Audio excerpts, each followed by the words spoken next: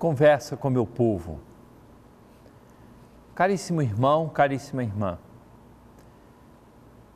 depois de celebrarmos o tempo pascal, que foi precedido pelo quaresma, pela quaresma, que foi a preparação da Páscoa, chegamos ao Pentecostes, e agora, quando a igreja vive o que se chama tempo comum, uma das realidades que se apresentam com mais força é a proposta do exemplo dos santos, das figuras que expressaram a vivência do Evangelho.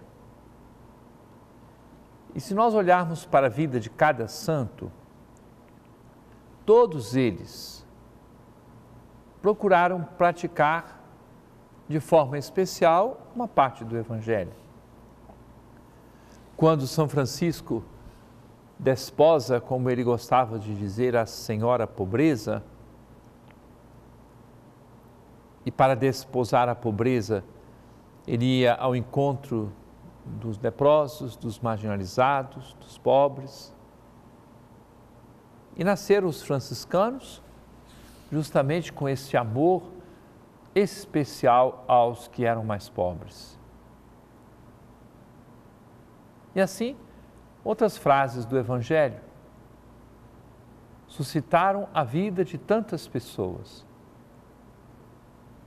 Quando nós, nesses meses, por exemplo, no mês de junho, comemoramos Santo Antônio, o homem da palavra de Deus, da pregação, também da caridade, ou São João Batista, cuja festa será no próximo domingo, ou São Pedro, cada um deles viveu o mesmo evangelho, cada um a partir da própria história, e assim a palavra de Deus pode ser, vamos dizer assim, quase que reescrita, olhando para a vida dos santos.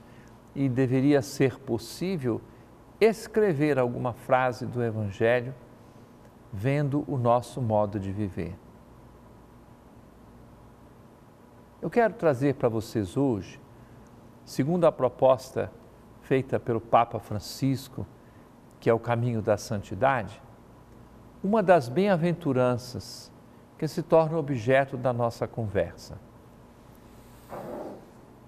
Felizes os misericordiosos, porque alcançarão misericórdia.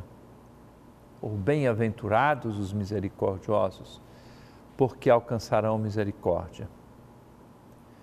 Bem-aventurada é uma pessoa cuja vida foi uma aventura feliz, uma aventura realizada deu certo a vida daquela pessoa. Quem é misericordioso é feliz, é bem-aventurado. É uma pessoa cuja aventura na vida teve um resultado frutuoso. Ouçamos o Papa Francisco. A misericórdia tem dois aspectos: é dar, ajudar, servir aos outros mas tem o outro lado. É também perdoar, compreender, ir ao encontro da fraqueza, da miséria do outro. O Evangelho de São Mateus resume a misericórdia com aquilo que se chama a regra de ouro. Tudo o que quiserdes que vos façam os homens, fazei-o vós também a eles. E o Catecismo da Igreja Católica lembra-nos que esta lei deve se aplicar a todos os casos, sem exceção, especialmente quando alguém se vê confrontado com situações que tornam o juízo moral menos seguro e a decisão difícil. Nós somos então chamados a praticar a misericórdia coração voltado, dado para a miséria. Pode ser a miséria física, econômica, pode ser a miséria moral, pode ser a fraqueza de quem quer que seja. Dar e perdoar é tentar reproduzir em nossa vida um pequeno reflexo da perfeição de Deus, que dá e perdoa em superabundância. Por esta razão, no Evangelho de São Lucas, onde São Mateus coloca de perfeitos, como o Pai do céu é perfeito, Mateus 5,48, o Evangelho de São Lucas traz da seguinte forma: Sede misericordiosos, como vosso Pai é misericordioso. Não julgueis e não sereis julgados. Não condeneis e não sereis condenados. Perdoai e sereis perdoados. Dai e vos será dado. Evangelho de São Lucas, capítulo 6, versículos 36 a 38. E depois, são Lucas acrescenta alguma coisa que nunca deveríamos esquecer. A medida que usardes com os outros, será usada convosco. A medida que usarmos para compreender e perdoar, será aplicada a nós para que nós também sejamos perdoados. A medida que usarmos para nos doarmos, será aplicada a nós no céu para nos recompensar. Não nos convém esquecê-lo. Jesus não diz: felizes os que planejam vingança, mas chama felizes aqueles que perdoam e fazem acontecer o perdão setenta vezes, sete vezes. É necessário pensar que todos nós somos uma multidão de pessoas perdoadas. Todos nós fomos vistos, acompanhados, acolhidos com compaixão da parte de Deus. Se nos aproximarmos sinceramente do Senhor e ouvirmos com atenção, possivelmente uma vez ou outra, escutaremos esta repreensão não devias também tu ter piedade do teu companheiro, como eu tive piedade de ti? Como é concreta, prática, realizável esta bem-aventurança? Espalhar misericórdia, ter a capacidade de ir ao encontro das pessoas que precisam, suplicam, esperam, pensam na nossa ajuda é fundamental que nós tenhamos este sentimento no nosso coração. Experimentar o fato de ter sido perdoados, acolhidos, valorizados, tocados pela misericórdia de Deus. E quantas vezes Deus nos dá a graça de buscar esse perdão no sacramento da reconciliação. Mas é necessário que nós também façamos do jeito que Deus faz conosco. Espalhar a misericórdia, espalhar o perdão. Há muito ressentimento guardado, há muito machucado mal resolvido. E nós, quando damos o primeiro passo para perdoar, nós experimentaremos esta profunda liberdade que vem do próprio Deus para todos nós. É o convite que faço a todos, em primeiro lugar a mim, para que, junto com você que me acompanha agora, nós todos nos convertamos e precisamos nos converter continuamente à misericórdia. Querido irmão, querida irmã, permaneça conosco. Daqui a pouco estamos de volta. Conversa com meu povo.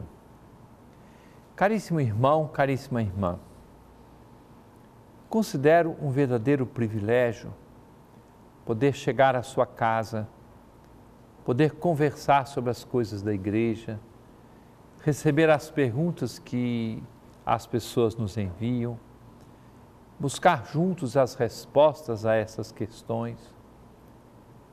A nossa igreja tem, por isso eu gosto de usar essa palavra, o privilégio de, através de um meio de comunicação, que é mantido com a sua ajuda, com a sua participação. Tenho o privilégio de chegar à casa de todos.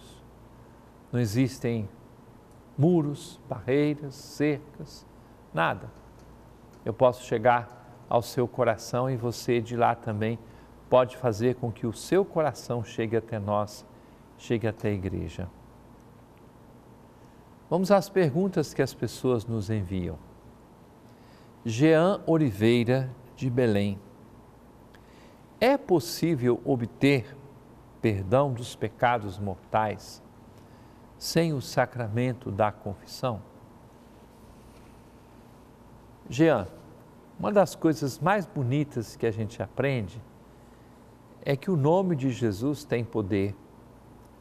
E o nome de Jesus, invocado por exemplo, na hora da morte de uma pessoa, tem todo o poder de dar o perdão, porque é pelo sangue de Jesus Cristo que os nossos pecados são perdoados. Deus tem infinitas formas para dar o perdão. Eu não posso limitar Deus aos meus critérios.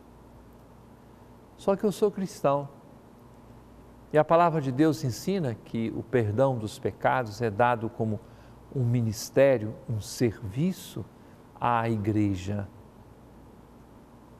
Daí que a igreja tem a responsabilidade de organizar a prática, a busca do perdão dos pecados com um sacramento que foi instituído por nosso Senhor. Sacramento que se chama sacramento da penitência ou confissão para você e para mim, este é o caminho para eu buscar o perdão dos pecados. É o sacramento da penitência. A igreja diz até algumas coisas que são muito importantes. Você, no momento em que está entrando para a Santa Missa, toma consciência de um pecado cometido, um pecado mortal. O que, que a gente faz? Um ato de contrição perfeito significa eu quero reconhecer que sou pecador e peço perdão a Deus. E depois, mesmo comungando, depois eu vou procurar o sacerdote para conversar, para ter a absolvição, o conselho de todos os meus pecados. Ah, você tem uma pessoa que está doente, está num lugar onde não tem um sacerdote. Você reza com aquela pessoa o ato de contrição, você diz, meu Jesus, misericórdia, e a nossa reflexão hoje foi sobre a misericórdia. Então, nós acreditamos no poder infinito do perdão que vem de nosso Senhor Jesus Cristo. Leandro é de São Miguel do Guamá e pergunta por que Caim matou Abel. Como ficou o mundo ficou povoado. Leandro, quando a gente abre a Sagrada Escritura, é bom que nós prestemos atenção ao fato de que a Bíblia não é um livro de atas, como também não é um livro de ciência. Então, quando fala que Deus criou o homem, Adão e Eva, não quer dizer que a criação de Deus se restringe apenas àquele casal. Criou o homem, criou a mulher.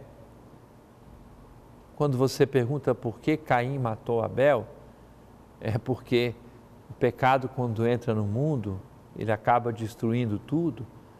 A inveja, o ciúme, o ódio do irmão faz com que uma pessoa mate a outra. Infelizmente, até hoje, essa realidade está presente na natureza humana e como nós gostaríamos de nos libertar dela. O mundo ficou povoado, sim, justamente porque depois aquele casal teve outros filhos, aquele casal levou a vida para frente e daí por diante. Mas não vamos restringir pensando que era somente aquele casal, porque a Bíblia faz uma narrativa que é religiosa, teológica, e que nos ajuda a entender que Ele e só Ele é o Criador de todas as coisas e de todas as pessoas. Uma pergunta que chegou sem o nome. É pecado a cremação do corpo após a morte? Não. Tu és pó e ao pó has de voltar. É palavra da Escritura. Pode voltar ao pó pela, pelo fato da terra consumir, ou pode voltar ao pó também através da cremação. O que não se pode é pensar que essa cremação signifique uma fé negativa ou não acreditar na ressurreição da carne, porque você morre, morre essa carne, mas você vive para Deus e se apresenta diante dele, até porque logo após a morte a pessoa se apresenta diante de Deus. E no final dos tempos, nós vamos ter o um corpo glorioso, serei eu, quando nós lembramos com o livro de Jó, eu mesmo verei e não outro. Eu é que vou ressuscitar por causa da força da ressurreição de Cristo.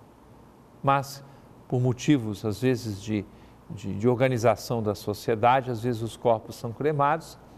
No entanto, não é pecado, não é errado quando uma pessoa pede essa cremação. Juscelino Santos de Belém pergunta se existe a possibilidade de ordenação de mulheres na igreja, na igreja católica. Há um documento sobre a sagrada ordenação do Papa São João Paulo II, em que ele afirmou com muita clareza, olhando para o fundamento bíblico, a escolha dos apóstolos, a igreja não tem poder de mudar isso aqui a ordenação sacerdotal, o sacramento da ordem, é para varões, para pessoas do sexo masculino. Mas talvez a gente precisaria pensar uma coisa. Às vezes as pessoas pensam que é uma questão de poder, então que as mulheres também deviam ter o poder da ordenação. Basta olhar para Nossa Senhora. Quem deu mais Deus ao mundo foi São Pedro ou Nossa Senhora? Então não se trata de poder. Mas João Paulo II, refletindo, afirmou seriamente, e depois o Papa Francisco, respondendo a perguntas semelhantes, já disse que a palavra de João Paulo II é definitiva. Uma pergunta também sem identificação. A igreja possui um espaço para acolhimento de padres idosos? Sim nós temos aqui na nossa Arquidiocese de Belém a Casa Bom Pastor. E essa Casa Bom Pastor se destina à hospedagem de sacerdotes que vêm a Belém, se destina também à residência dos padres idosos. Nós já temos algumas, alguns sacerdotes que vivem nesta Casa Bom Pastor. Então, quando for necessário, nós temos ali a residência para estes sacerdotes. Marilda Carneiro, de Belém. Muitos dizem que os problemas atuais da Síria ainda são reflexo do início dos tempos, inclusive em textos bíblicos estaria escrito isso. Vamos ter muita atenção para nós não entendermos os textos bíblicos fora do seu contexto. E às vezes a gente usa uma forma fundamentalista de leitura da Bíblia, como se cada vírgula, tivesse que acontecer como está ali. Não é dessa forma. Nós temos o texto escrito da palavra de Deus e é preciso verificar o como o contexto, quer dizer, o ambiente, a cultura, como as coisas foram escritas no seu devido tempo. Então, eu não posso dizer que os problemas da Síria, mas eu devo dizer que os problemas do mundo, Síria inclusive, Brasil inclusive, essas coisas são consequência da iniquidade, do mal, do mistério do pecado. Mas não vamos pegar, como às vezes alguns grupos religiosos têm essa tendência. Pega lá um texto da Bíblia, lá um, texto lá do livro dos reis ou, ou não sei de outros textos e acha que vai se aplicar exatamente tintim por tintim na vida de uma pessoa, o que causa às vezes medo, receio, até desespero em muitas pessoas. Nós não usamos a Bíblia dessa forma. Querido irmão, querida irmã, desejo que Nosso Senhor abençoe cada vez mais a vida de todos. Em nome do Pai, do Filho e do Espírito Santo. Amém.